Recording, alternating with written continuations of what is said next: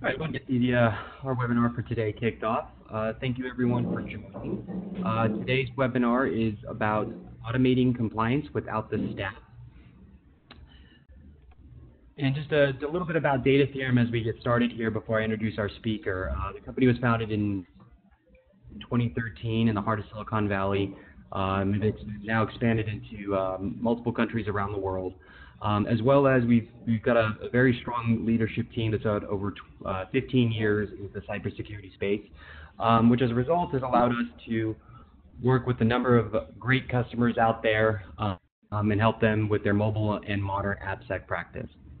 Uh, with that, I'm going to go ahead and turn it over to today's speaker, uh, Himanshu, if you'd like to go ahead and introduce yourself. Yes, thanks, Richard. Uh, my name is Himanshu. I will be talking to you for the next 20 minutes about automating compliance um, requirements, uh, both by regulatory standards, customers, and just governing bodies, uh, without staff or with little time of staff. So that's kind of the main point over the next 20 minutes. Here's the agenda items that we'll go over. Um, I'm sure you can read them for yourself. But the key thing I want to point out on this slide is the third bullet point automate all things, including audits. I think what happens with uh, large organizations or even small where you think about automation, you think about developers, you think about code, you think about um, things traditionally in technology that you want to automate. But it's interesting to me how people kind of stop short of automating everything, including things that take up a lot of their time. So any CSO or CTO or, or large or small organization know that, hey, governing bodies or customers require us to do certain things to handle their data, protect their data appropriately. That takes a big part of your security program.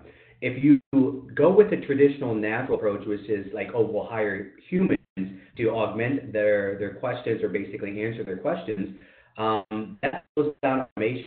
So this uh, webinar is talking about how to automate that because it takes a huge chunk of your security program, which you could spend on other things. So with that, we'll dive right in. And let me just page down. All right. So first thing we're going to talk about some challenges. Um, these are not exhaustive. Uh, there's a lot of challenges out there, but a few of them that come to mind as I were was preparing the slides uh, a few weeks ago. So the first thing is, is we all know this, but it's, it's very good to look at the staff, um, the staffing problem within security. So overall, the tech market as we all know, is growing fast in the United States and elsewhere as well. It's actually growing four times faster than the overall labor market um, across the board. So 4x is tech, and I think we all know that if you kind of read the news with how uh, big tech companies are becoming the biggest companies in the world. What's interesting is the cybersecurity market or security professionals that's actually growing 12 times faster than the labor market. So even faster than the overall engineering market, the cybersecurity market is growing at a 12x. Now, the reason why I bring that up is if you're a security professional, this basically tells you you have job security for over two decades. This is a very good stat if you're looking for a high growth, stable uh, market to basically be a part of for the next 20, 10 to 20 years. So you join an organization, you, are a cybersecurity professional, and you feel very, feel very good about um, about your job. The problem is there's so many things to do. So the first thing you do is you want to grow your team or expand your team. Well, the problem is, is you are dealing with one million other job recs out there. So if you look at the orange uh, label here on the right side, there are on average one million job openings for cybersecurity. So you have 20, you have 30 open recs, or you have three open recs. You're competing with 1 million other ones. If you fill those recs, sustaining and actually getting people to stay within the organization with a shelf life of 18 to 24 months is also difficult. So we've seen this. Um, well, the company, like Richard said, it's six years old. Um, myself and the, and the other management team of Data Theorem have been in security since 1998. So I've seen staffing problems across the board for the better part of 20 years. So solving problems with staff is natural. It's a very human thing to do, but it doesn't scale. And so, so while we would love to hire staff to, to audit or to kind of fulfill our compliance requirements, it's a, it's a tough problem out there just to do with humans itself. So another challenge is, of course, security. That is probably one of the main challenges, if not the overall challenge that a security program has. Now, this is a slide that I actually stole from the Facebook security team. They had a great blog that you can see down there on the lower right-hand corner. They had a great blog earlier this year uh, about how they manage and um, basically design security for the billions. That's a B with the billions. Now, just because you don't have a billion users doesn't mean you can't borrow or even replicate your own security program from Facebook. Now, yes, we know the Facebook security team very well. They're very good. Um, a lot of good people over there. But one of the things I wanted to point out, uh, we're not going to go through the detail, but if you kind of skim this slide, what's interesting to me, um, if you look at the detail, four out of the five things, uh, I'm sorry, four out of the six things they have uh, talked about in their defense in depth approach require humans. So if you look at the fine print, it says security experts, human researchers, um, internet security uh, experts. So all these require humans. Well, when you're Facebook and you have basically an unlimited budget and you have unlimited security staff, you can design your program with people. And that's an okay thing, but that's not realistic for anyone else outside of Google, Facebook, Apple, and a few other tech companies and, and, banks in New York or large banks across the world. This is just not a realistic thing that a average large or medium company can do because the talent and security um, is very hard to get and very hard to retain. So while we love this program that Facebook has designed, it's very human centric and it doesn't scale to the average organization out there um, in the United States or even abroad. And then finally, the third challenge is, of course, compliance, the main point of today's webinar. Your boss or your boss's boss, or even your customers, your lead salesperson will come to you and saying, hey, we have a customer that needs to look at our data protection requirements. That's one, week one. Week two, we're like, oh, we have auditors coming on site. They have to make sure that we're compliant to PCI. Great. Week three, okay, we're a healthcare company. We have to make sure that we're compliant to HIPAA. And now it's week four, and you're like, hey, what am I supposed to be doing? Am I supposed to be doing my security job, data protection, or am I here to answer compliance questions from auditors? And if your boss, if he or she is a good boss, will say yes. Like it's yes to both. You're going to have to do both. One does not come before the other. They have to happen at the same time. So with limited zero staff, how do you make sure you protect data while answering and adhering to all the compliance requirements out there? Now, we all know in the Venn diagram there is some overlap, but it's not a direct overlap. We've had those questionnaires that really have nothing to do with security, but you have to answer them because it's a requirement of PCI, HIPAA, or your customers. And vice versa, you have a technical piece of code that actually is a very good thing for security, but it doesn't really help you with compliance because they don't know about it. So the, the problem here is you have so many compliance demands. And if you look at companies like Amazon, if you look at this in the Amazon slide, they have a lot of compliance. But again, big companies have a lot of compliance and a lot of staff. So that's what I think a lot of people kind of make the mistake. It's like, let's solve these problems how Facebook and Amazon solve them. And we frankly feel those programs are great, but they require staff. So you kind of have to hack it and basically say, how can we basically adhere to the things we need to, both externally and internally, without creating job recs that frankly might not ever be filled.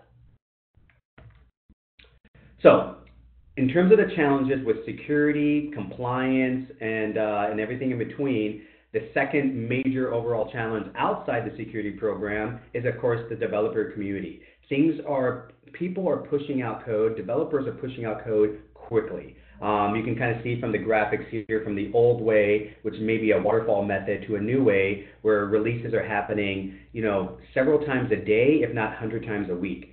So if you're a security program, you're there to protect data, customer and internal data. You have to be compliant, and then you walk over to the developer side of the house, and releases are happening nonstop.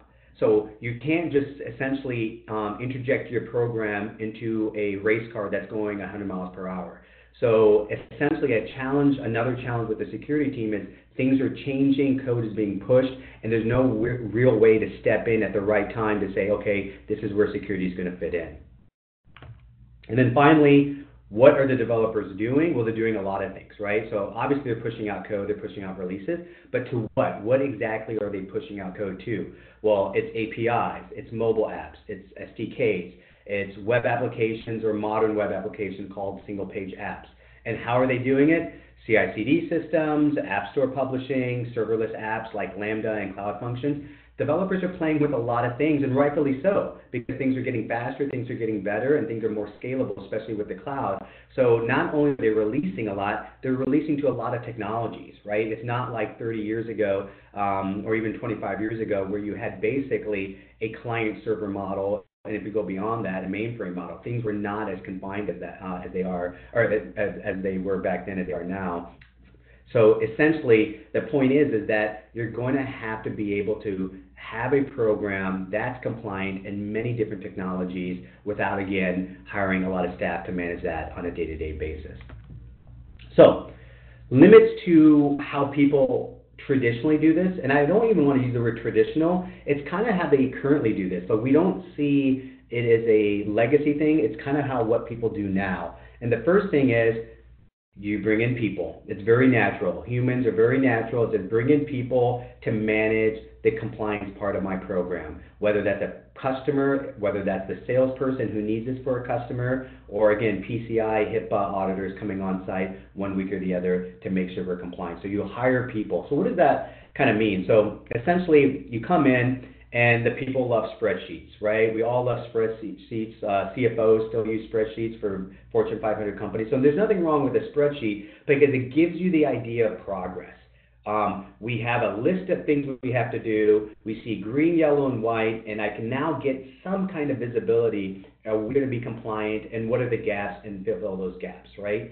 And one of the gaps that we always see is that, okay, have you had outside security testing on your products, right? Um, in fact, that's a requirement for PCI and, and, HIPAA. And so what do you do? You go to Black Hat, you find a security consulting company or just individuals, and you have them pen test your uh, your product. So now you have the spreadsheet, you have the uh, consultants, and everything is kind of running along just fine, right? But again, you built a program either knowingly or unknowingly with that it's human based, right? It's very human intensive. Um, the problem with that, again, is you're dealing with developers who are running fast. In fact, you're dealing with developers, they're not even running fast. They're not attending the, the race because it's, it's automated for them. They're not, you know, there's not someone in a developer organization named Jenkins. Jenkins is a system that is always running. So if your spreadsheet person shows up and your pen testers show up and then you're talking to developers, there's not someone who's pushing a go button. It's just always running. So what happens if you're the dark gray area called test and everything is automated around you, the release cycle is automated with Jenkins, the publishing um, cycle is automated with app, the App Store publishing process. Um, monitoring is done um, with some kind of software. Everything is automated, and here you come with spreadsheet and pen testers and saying, okay, we want to be part of this uh, of this of this world too. We want to belong as well, and you're belonging with essentially the wrong tools. Spreadsheet and pen testers don't really relate to Jenkins and automated and fast releases on a daily or weekly basis. So essentially, this silly analogy on this silly slide is like it's like bringing a Franklin planner and a old style phone to a modern meeting.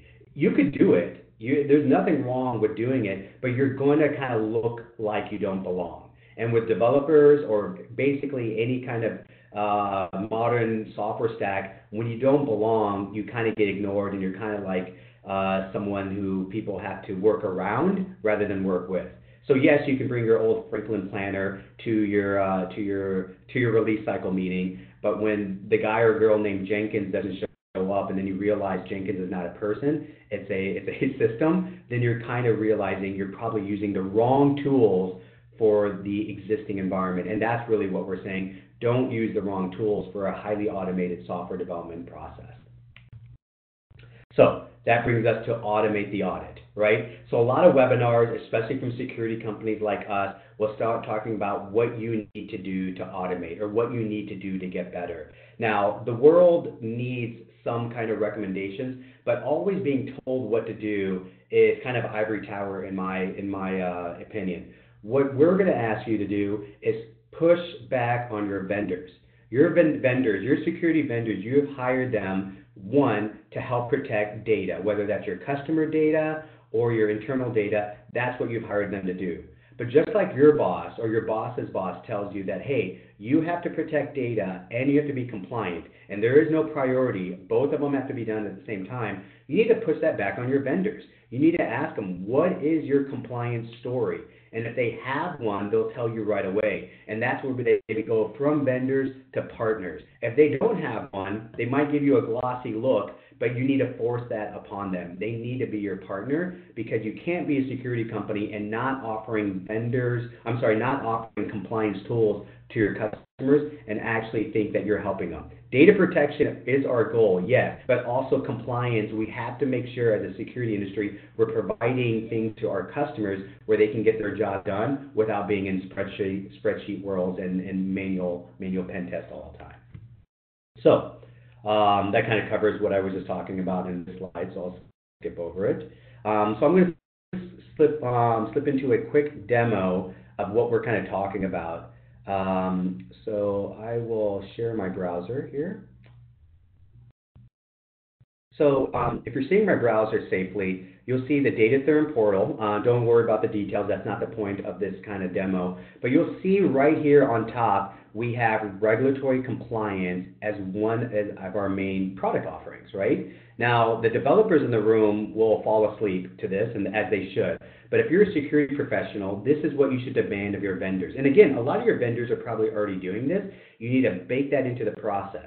So essentially, when your auditors come on site, whether it's GDPR, the good old GDPR, everyone's four-letter word, favorite four-letter word from Europe, PCI with credit cards, HIPAA with uh, medical information, FTC with privacy, or OWASP with the standards, or even COPPA with uh, children, your vendors should have a story where it says, we're going to help you stay secure, and again, we're going to help you be compliant. So you go to their portal, you click on one of these certifications, and that's the story. No spreadsheets, no consultants. It's right there, baked into the product. Uh, as releases happens, as fix happens, it all gets updated, and it's all automated, so you don't have to disrupt a very fast system called DevOps with a slow system with spreadsheets and, and human human pen testers going back to the slides, um, the other demo, um, well, before I go to the other demo, so this is a good example. I just showed labels uh, like PCI, you'll see it here, back to the Amazon label, HIPAA as well. So again, there's, there's obviously more depth in these compliance than just one part of it, which is um, API or mobile app security. But again, your vendors can you can put this together to sell a story to your auditors or to your uh, internal salesperson saying, we have a program that scales, that's always on, and yes, it's compliant. And then these logos are easier to get because it's automated with your security products and your lifecycle rather than one-offs, again, with spreadsheets or, um, um, or, or, or manual testing. Um, now, the second demo I'll show is uh, certifications. So one of the things we just did with a customer a few weeks ago that worked out really well is a customer um, of ours um, had their lead salesperson come in and said, hey, we need a pen test of our mobile apps and we need it uh, before the end of the year. Um, and so obviously two people, two weeks is the kind of standards, uh, and it's, it gets expensive in terms of time, not so much dollars, but the time is as you kind of slow down development for two to four weeks, consultants come in, developers come in, all these things happen, right? So we told our customers, hey, that's great. We can recommend a few pen testing companies. Um, I happened to found one uh, a few years ago. Um, but at Data Theorem, what we can do is automate that process. So you go ahead and click on the app that you're uh, that you're wondering about, and you click export, and it actually will give you the um, the the report uh, to show you what you're doing and how you're doing it. So essentially, if I go back to the slides, um, you'll see here it's kind of in small print, but we're basically able to show our customer salesperson over the last three months this app has been scanned and tested over 45 times. 39 issues have been closed in those three months, and five remain open. Now, if it was a pen testing report, those five issues that are open would be monopolizing in the unfair way the engineering team over the next year. What we were able to do is show the salesperson, like, hey, go show the, uh, the prospect essentially 39, I'm sorry, 45 tests have been done in three months. 39 issues have been closed in three months. And this is all natural because all these issues are feeding up into Jira, so this is all happening naturally. So we were able to basically prevent a slowdown of the process uh, with testers or, or manual uh, manual testing with spreadsheets, and basically automate that and bake that into um, the life cycle. And so now, essentially, when a salesperson needs some kind of certification, they can get that immediately because the product allows that to happen in real time. And with that, I'm going to hand it over to a, uh, a customer of ours, Keith, who is the CTO of Wildflower. Uh, we have a few minutes of his time, um, who's going to talk about his experience not only with our data trust certificate, but with using our product in his own fast-paced environment. So Keith, if you're out there, I'll go ahead and hand it over to you at this time. Yeah, I'm here. Can you hear me all right? Yes. Yeah. Um, so uh, just an introduction. My name's Keith Yeager. I'm CTO at a company called Wildflower. We're a startup in the healthcare space. Um, and so we brought in Data Theorem to help us solve probably kind of three different three different problems. Um, the first is, I mean, we're a small startup, um, and our customers are the largest insurance companies, Medicaid companies, hospital chains, and um, even a lot of the large tech companies that he mentioned earlier are our customers. Um, and all of those customers, because we're in healthcare, put us through security reviews. Um, each of them are cus- custom to them. They all have their own security organizations that have their own standards and their own questions. Um, and um, you know, for a small company like us to be able to keep up with uh, groups, you know, these security teams, in many cases, the security teams of these companies are far larger than the, our whole company. Um, Data Theorem has allowed us to run these processes automatically, um, provide the reports, um, and it you know, and have it accepted by these large organizations with, you know, with, because it's very clear, um, on, you know, it gives a very clear record of what we're accomplishing. Uh, the second thing that we've tried to do is we're also getting certification in uh, in healthcare. It's a high it's a HITRUST audit, um, and again, um, Data Theorem provides us the documentation for the security aspects of what we've been doing in a way that normally would require huge amounts of effort of people coming in and auditing us and uh, forcing us to, to demonstrate proof and so on and so on and so forth. Um, and the last thing I wanted to mention is that um, we're surviving just fine in an environment where we're getting this kind of security scrutiny. Um, and we have a security team of zero, which is all we can afford. So I've got I've, I've got a guy that manages, you know, our server environment and is our ops guy, and we've got some programmers. Um, but what Data Theorem allows us to do, because of the way they document the issues and they provide suggestions and coded samples, is that we end up using Data Theorem as our secure, both our security training and our way of communicating about security internally. Um, and in that way, we've been able to distribute the security work, um, you know, kind of push it down throughout the organization rather than having, you know, a dedicated people, uh, you know, to the security work. Um, so, you know, I really, for, for a small organization, for us, this has been a godsend. Um, and, uh, you know, there's new products coming out from uh, Data Theorem to help us with monitoring event points, um, we will eagerly um, probably attach ourselves to all of these things because they allow us to, you know, they give us the leverage to act like a big company, even though you know we're just a handful of people. Um, I think that's that's the short bit. Um, if there's any questions or anything else you guys would like me to talk about, let me know.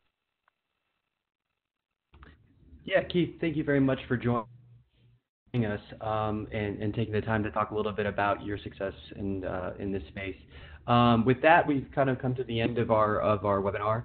Uh, we did want to reserve a little bit of time. If anybody does have any questions, uh, feel free to post them in the Q and A panel uh, within the uh, the webinar on the right hand side, and uh, we will go ahead and give you a few minutes to do so, and then we'll answer those accordingly.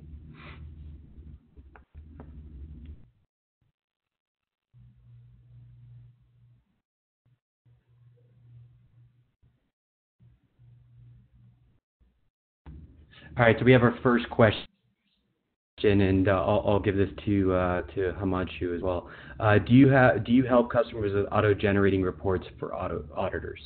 Yes, yes, that's a great question. Um, in fact, I will demo that.